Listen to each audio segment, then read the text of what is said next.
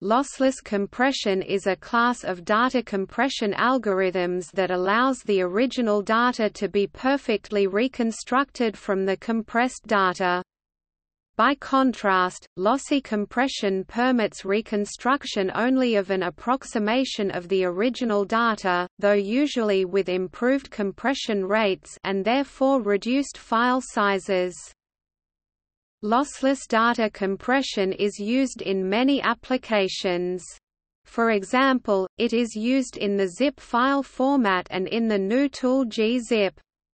It is also often used as a component within lossy data compression technologies e.g. lossless mid-side joint stereo pre-processing by MP3 encoders and other lossy audio encoders. Lossless compression is used in cases where it is important that the original and the decompressed data be identical, or where deviations from the original data would be unfavorable. Typical examples are executable programs, text documents, and source code. Some image file formats, like PNG or GIF, use only lossless compression, while others like TIFF and MNG may use either lossless or lossy methods. Lossless audio formats are most often used for archiving or production purposes, while smaller lossy audio files are typically used on portable players and in other cases where storage space is limited or exact replication of the audio is unnecessary.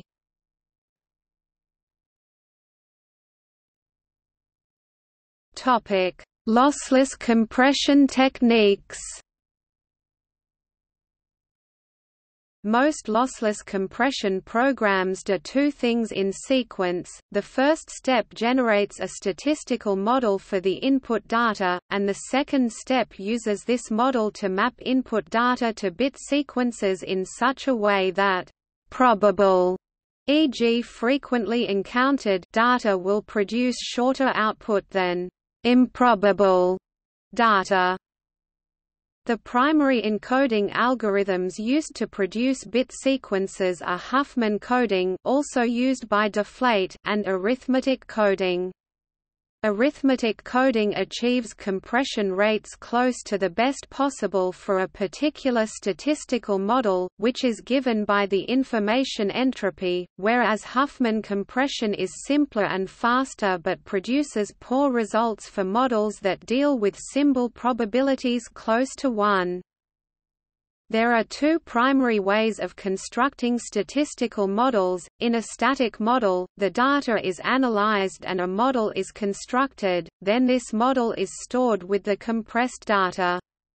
This approach is simple and modular, but has the disadvantage that the model itself can be expensive to store, and also that it forces using a single model for all data being compressed, and so performs poorly on files that contain heterogeneous data.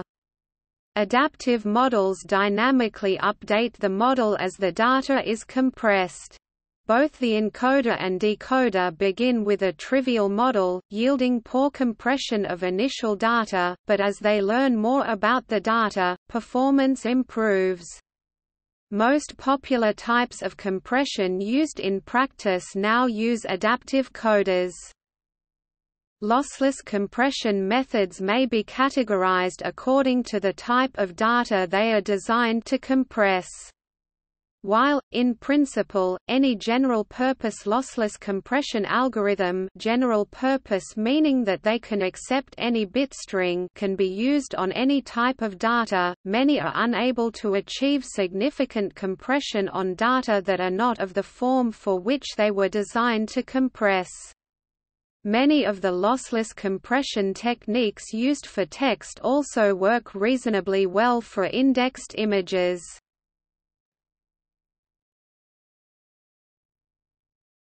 Topic: Multimedia. These techniques take advantage of the specific characteristics of images such as the common phenomenon of contiguous 2D areas of similar tones. Every pixel but the first is replaced by the difference to its left neighbor. This leads to small values having a much higher probability than large values. This is often also applied to sound files, and can compress files that contain mostly low frequencies and low volumes. For images, this step can be repeated by taking the difference to the top pixel, and then in videos, the difference to the pixel in the next frame can be taken. A hierarchical version of this technique takes neighboring pairs of data points, stores their difference and sum, and on a higher level with lower resolution continues with the sums. This is called discrete wavelet transform. JPEG 2000 additionally uses data points from other pairs and multiplication factors to mix them into the difference. These factors must be integers, so that the result is an integer under all circumstances. So the values are increased, increasing file size, but hopefully the distribution of values is more peaked. The adaptive encoding uses the probabilities from the previous sample in sound encoding, from the left and upper pixel in image encoding, and additionally from the previous frame in video encoding. In the wavelet transformation, the probabilities are also passed through the hierarchy.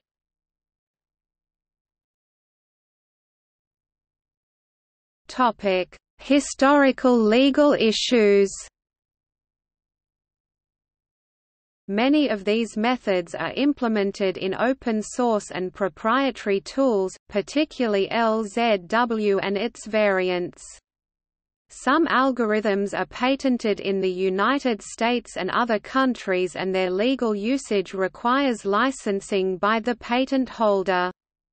Because of patents on certain kinds of LZW compression, and in particular licensing practices by patent holder Unisys that many developers considered abusive, some open-source proponents encouraged people to avoid using the graphics interchange format GIF for compressing still image files in favor of portable network graphics PNG, which combines the LZ77-based deflate algorithm algorithm with a selection of domain-specific prediction filters.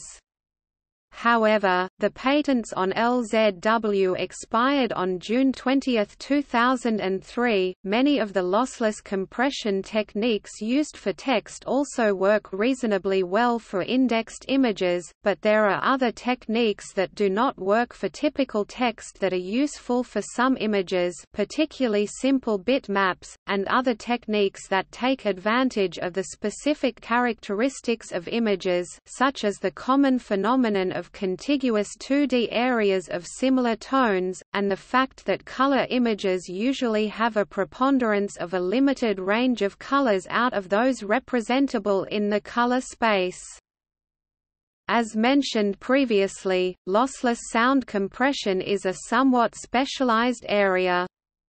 Lossless sound compression algorithms can take advantage of the repeating patterns shown by the wave-like nature of the data, essentially using autoregressive models to predict the next value and encoding the hopefully small difference between the expected value and the actual data. If the difference between the predicted and the actual data called the error tends to be small, then certain difference values like 0, plus 1, minus 1 etc. on sample values become very frequent, which can be exploited by encoding them in few output bits. It is sometimes beneficial to compress only the differences between two versions of a file or, in video compression, of successive images within a sequence. This is called delta encoding from the Greek letter delta, which in mathematics, denotes a difference, but the term is typically only used if both versions are meaningful outside compression and decompression. For example, while the process of compressing the error in the above-mentioned lossless audio compression scheme could be described as delta encoding from the approximated sound wave to the original sound wave, the approximated version of the sound wave is not meaningful in any other context.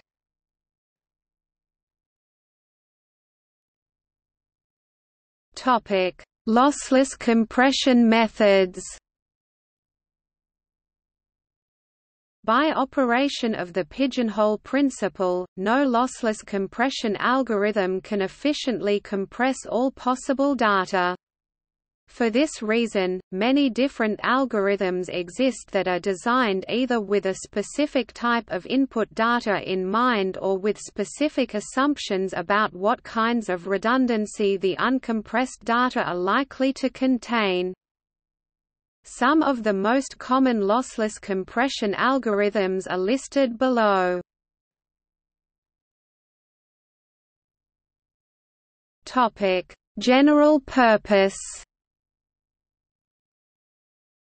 Run length encoding RLE simple scheme that provides good compression of data containing lots of runs of the same value Huffman coding – pairs well with other algorithms, used by Unix's pack utility.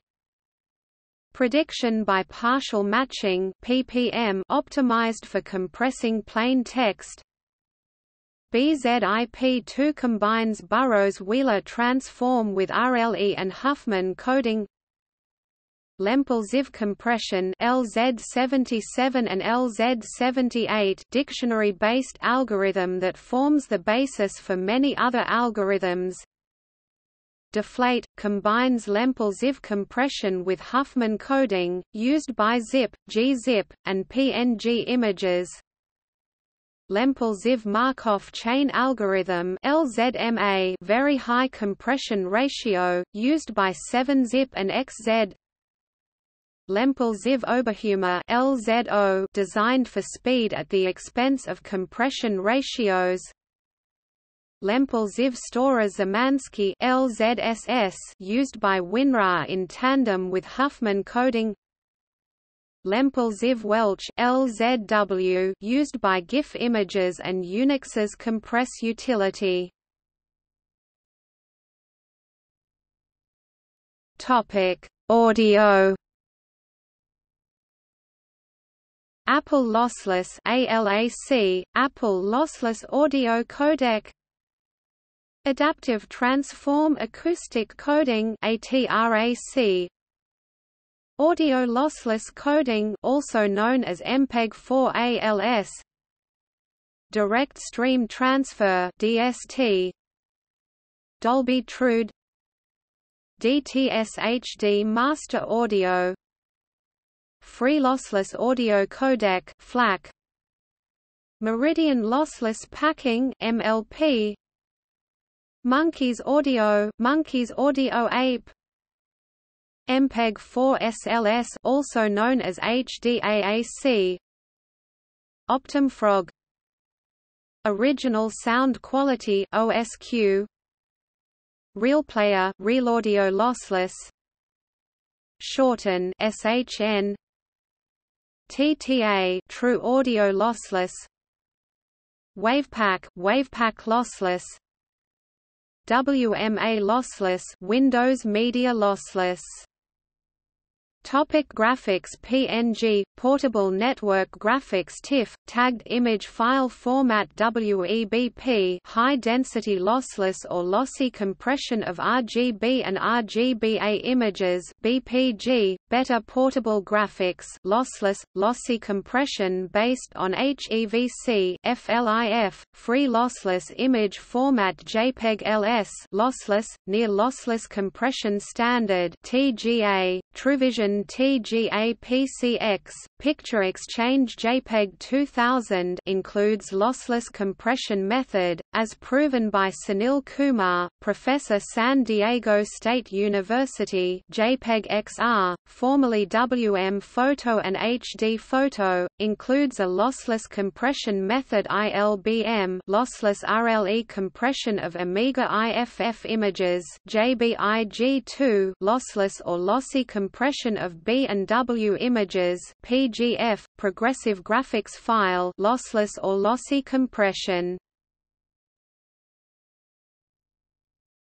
Topic: 3D graphics. OpenCTM, lossless compression of 3D triangle meshes. Topic: Video See this list of lossless video codecs.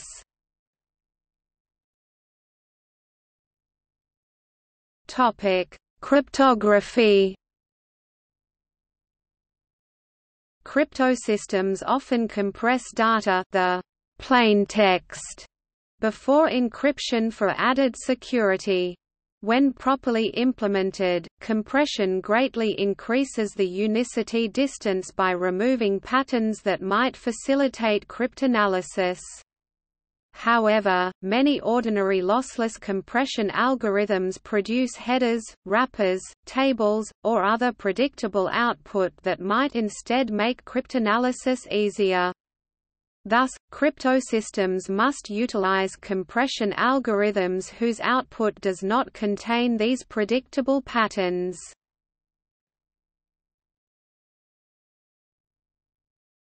Topic: Genetics and genomics.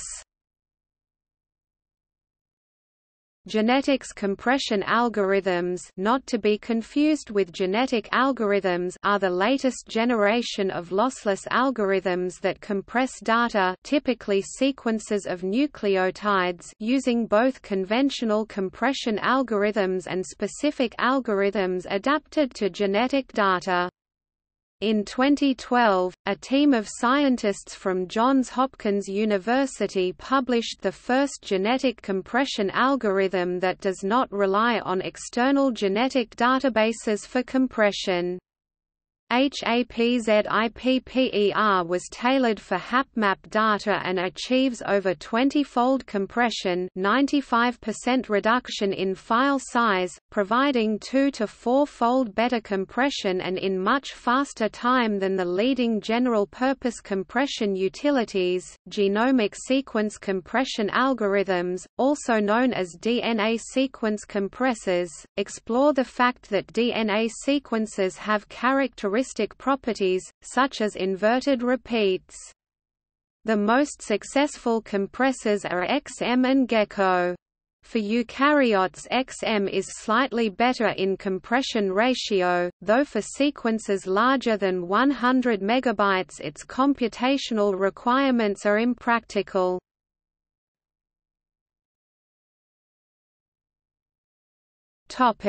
Executables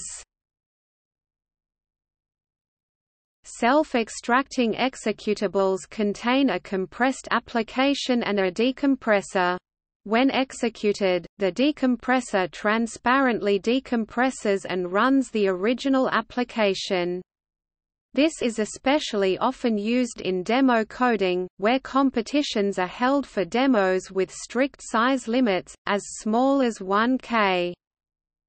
This type of compression is not strictly limited to binary executables, but can also be applied to scripts, such as JavaScript.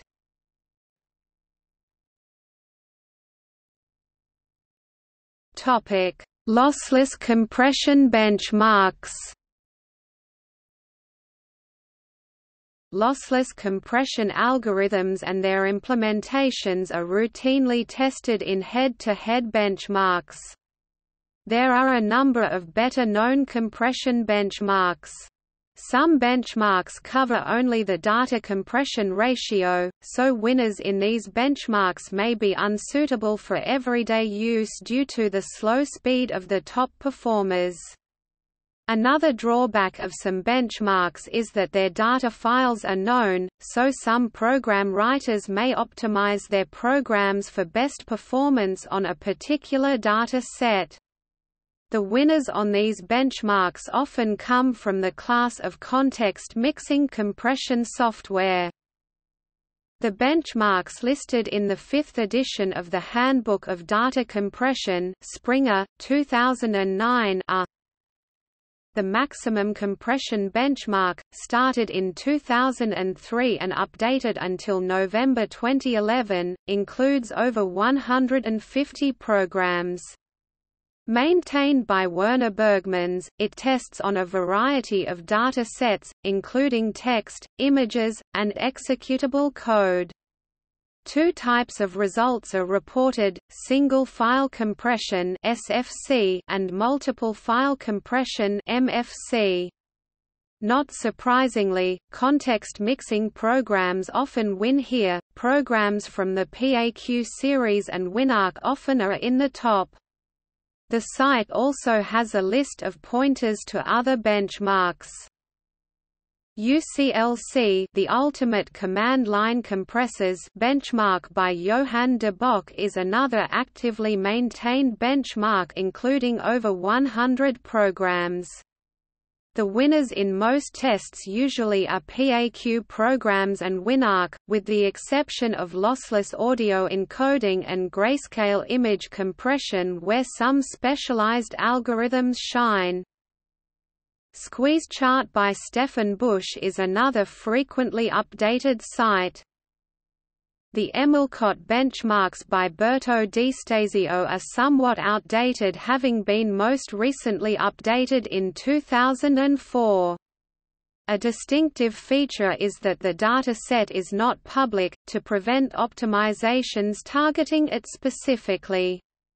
Nevertheless, the best ratio winners are again the PAQ family, SLIM and WinRK. The Archive Comparison Test by Jeff Gilchrist included 162 DOS, Windows and 8 Macintosh lossless compression programs, but it was last updated in 2002. The Art of Lossless Data Compression by Alexander Ratushnyak provides a similar test performed in 2003. Matt Mahoney, in his February 2010 edition of the free booklet Data Compression Explained, additionally lists the following the Calgary corpus dating back to 1987 is no longer widely used due to its small size. Matt Mahoney currently maintains the Calgary Compression Challenge 1, created and maintained from May 21, 1996 through May 21, 2016 by Leonid A. Broukhis 2. The Large Text Compression Benchmark and the similar Hutter Prize both use a trimmed Wikipedia XML UTF-8 data set. The generic compression benchmark, maintained by Mahoney himself, test compression on random data. Sami Runsas author of NanoZip maintains compression ratings, a benchmark similar to maximum compression multiple file test, but with minimum speed requirements. It also offers a calculator that allows the user to weight the importance of speed and compression ratio. The top programs here are fairly different due to speed requirement. In January 2010, the top programs were NanoZip followed by FreeArc, CCM, FlashZip, and 7-Zip. The Monster of Compression benchmark by NF Antonio tests compression on 1 gigabit of public data with a 40-minute time limit. As of December 20, 2009 the top-ranked archiver is NanoZip 0.07 and the top-ranked single-file compressor is CCMX 1.30C, both context mixing. The Compression Ratings website published a chart summary of the «frontier» in compression ratio and time. The Compression Analysis Tool is a Windows application that enables end users to benchmark the performance characteristics of streaming implementations of LZF4, Deflate, ZLIB, GZIP, BZIP2 and LZMA using their own data. It produces measurements and charts with which users can compare the compression speed, decompression speed and compression ratio of the different compression methods and to examine how the compression level, buffer size and flushing operations affect the results. The Squash compression benchmark uses the Squash library to compare more than 25 compression libraries in many different configurations using numerous different datasets on several different machines, and provides a web interface to help explore the results. There are currently over 50,000 results to compare. Topic limitations Lossless data compression algorithms cannot guarantee compression for all input data sets. In other words, for any lossless data compression algorithm, there will be an input data set that does not get smaller when processed by the algorithm, and for any lossless data compression algorithm that makes at least one file smaller, there will be at least one file that it makes larger. This is easily proven with elementary mathematics using a counting argument, as follows, assume that each file is represented as a string of bits of some arbitrary length. Suppose that there is a compression algorithm that transforms every file into an output file that is no longer than the original file, and that at least one file will be compressed into an output file that is shorter than the original file. Let m be the least number such that there is a file f with length m bits that compresses to something shorter. Let n be the length in bits of the compressed version of f because n but 2n is smaller than 2n plus 1, so by the pigeonhole principle there must be some file of length n that is simultaneously the output of the compression function on two different inputs. That file cannot be decompressed reliably which of the two originals should that yield, which contradicts the assumption that the algorithm was lossless. We must therefore conclude that our original hypothesis that the compression function makes no file longer is necessarily untrue. Any lossless compression algorithm that makes some files shorter must necessarily make some files longer, but it is not necessary that those files become very much longer. Most practical compression algorithms provide an escape facility that can turn off the normal coding for files that would become longer by being encoded.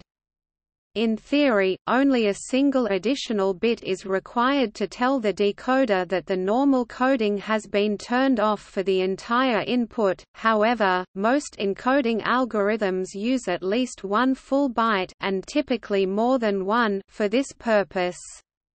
For example, deflate compressed files never need to grow by more than 5 bytes per 65,535 bytes of input.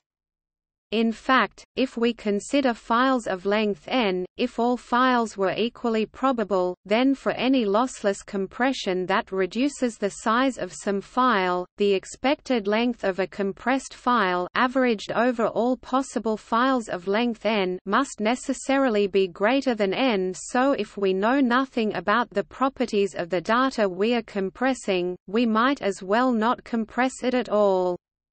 A lossless compression algorithm is useful only when we are more likely to compress certain types of files than others, then the algorithm could be designed to compress those types of data better.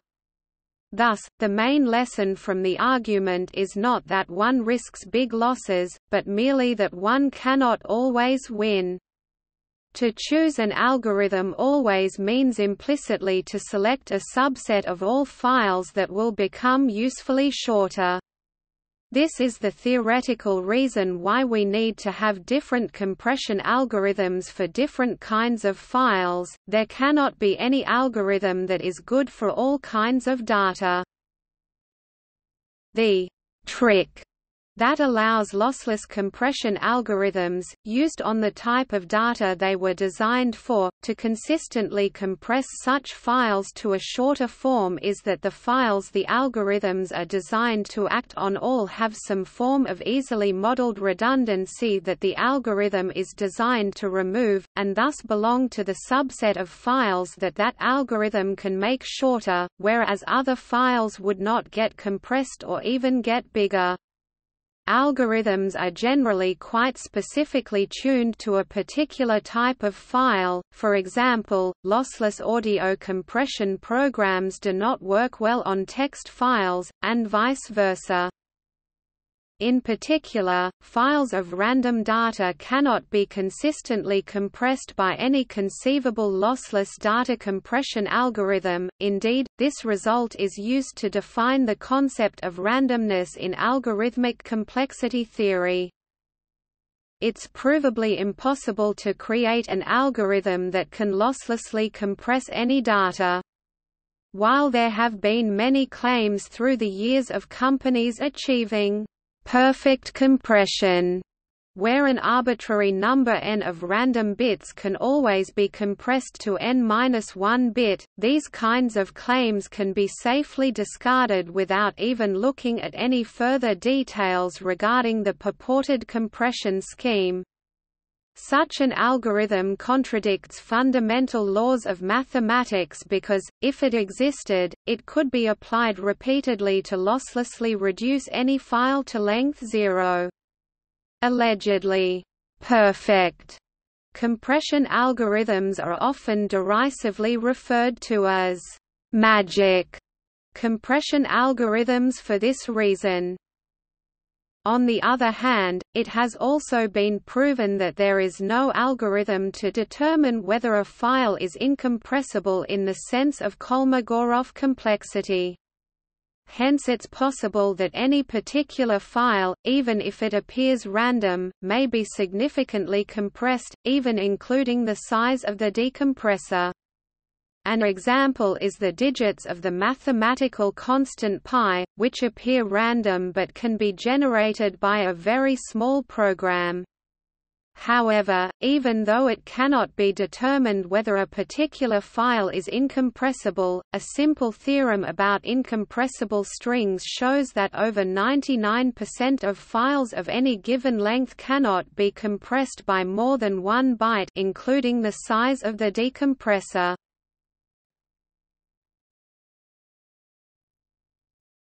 Topic: Mathematical background. Abstractly, a compression algorithm can be viewed as a function on sequences normally of octets. Compression is successful if the resulting sequence is shorter than the original sequence and the instructions for the decompression map, for a compression algorithm to be lossless, the compression map must form an injection from plain to compressed bit sequences. The pigeonhole principle prohibits a bijection between the collection of sequences of length n and any subset of the collection of sequences of length n-1. Therefore, it is not possible to produce a lossless algorithm that reduces the size of every possible input sequence.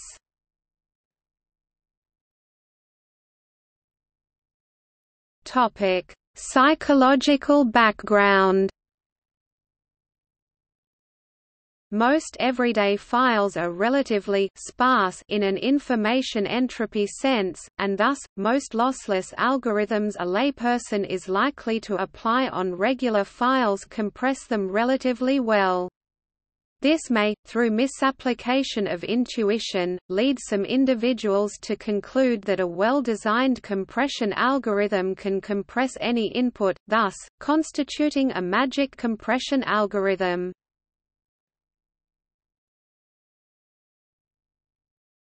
Topic: Points of application in real compression theory Real compression algorithm designers accept that streams of high information entropy cannot be compressed, and accordingly, include facilities for detecting and handling this condition. An obvious way of detection is applying a raw compression algorithm and testing if its output is smaller than its input. Sometimes, detection is made by heuristics, for example, a compression application may consider files whose names end in .zip, .arj, or .lha, uncompressible without any more sophisticated detection. A common way of handling this situation is quoting input, or uncompressible parts of the input in the output, minimizing the compression overhead. For example, the zip data format specifies the compression method of stored for input files that have been copied into the archive verbatim.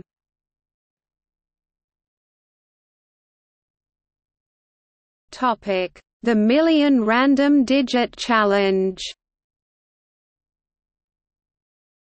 Mark Nelson, in response to claims of magic compression algorithms appearing in comp.compression, has constructed a 415,241-byte binary file of highly entropic content, and issued a public challenge of $100 to anyone to write a program that, together with its input, would be smaller than his provided binary data yet be able to reconstitute it without error. The FAQ for the comp.compression newsgroup contains a challenge by Mike Goldman offering $5,000 for a program that can compress random data.